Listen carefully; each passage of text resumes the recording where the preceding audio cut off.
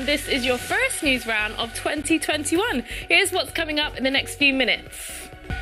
But first, I want to start by saying Happy New Year, and what better way to start 2021 than by hearing from you? It's safe to say that 2020 was a year like no other, but now we're in a brand new year. We asked you what your hopes and dreams are for the next 12 months, and as always, so many of you got in touch.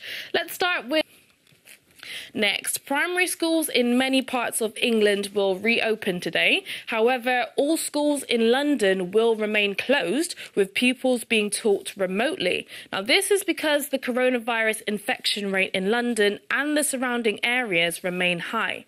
But some vaccine news next, as the first doses of the coronavirus vaccine created by Oxford University and medicine company AstraZeneca will be given to patients today. Now, this Oxford University vaccine was approved five, five days ago.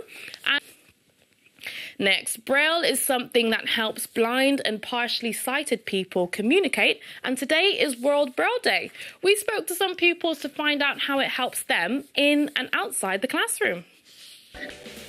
And we've got loads more for you today, including this new arrival at Mexico's National Zoo.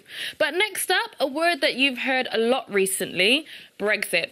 Although adults in the UK voted to leave a group of countries called the European Union way back in June 2016, it's been a long and complicated path to actually leaving. Now, the UK has now officially finished the formal separation from the EU. So, what happens now and what does it all mean?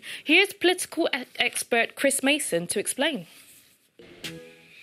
Right, that's all from me today. Hayley's back tomorrow morning with your next Newsround update. And in the meantime, check out our website for more news. Bye.